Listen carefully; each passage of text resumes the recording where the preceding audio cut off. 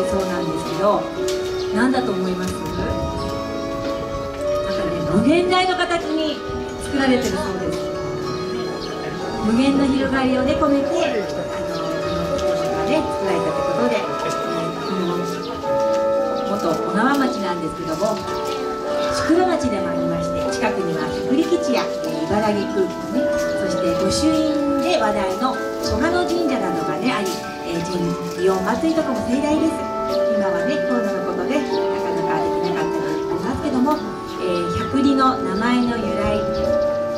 この名前の由来なんですけどもね江戸時代水戸藩が下総の日に今の千葉県のね、えー、九十九里浜に対抗して名付けられた百里街道。水戸とあやめで、えー、あやめで有名な板子を結ぶ街道が100里あったそうなんですね。そこから100里という名前が付けられたそうです、まあ、1里っていうのは今で言えばね約650メートルってことなんですけどもね、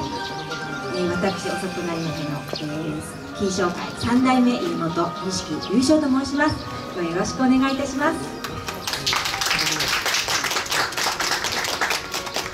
それでは本日はこの賑やかな宿場町ソララ茶屋からまずは春夏秋冬の雰囲気を順に4曲お届けしてまいります。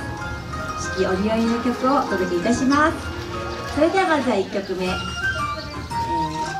津軽の花でございます。